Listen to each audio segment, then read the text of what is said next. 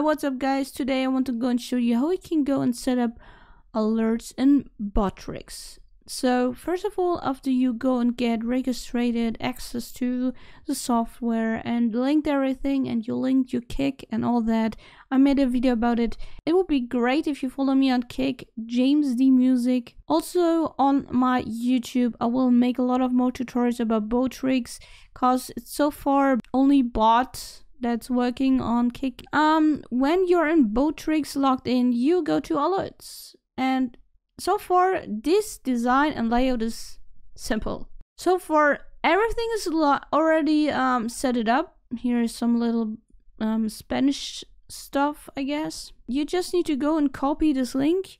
Go to OBS. Here, just go click on sources and plus and then browser and then call this alert. And in here you go and paste in your alert. So let me do that. And then you go over here paste in your link click ok. A lot of stuff is already set it up.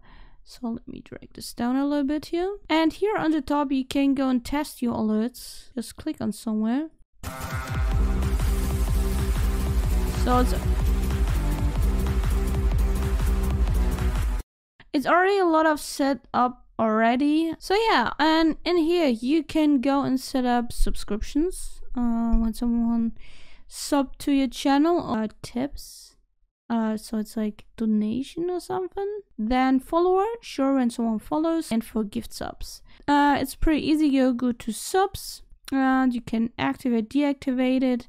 You can also go and get a Botrix and a default style. Uh, Botrix just text and all that. Different options, alert, uh, duration, animation, uh, images. They have a bunch of them, but you can also go search them up if you want though. Um, same with the sound.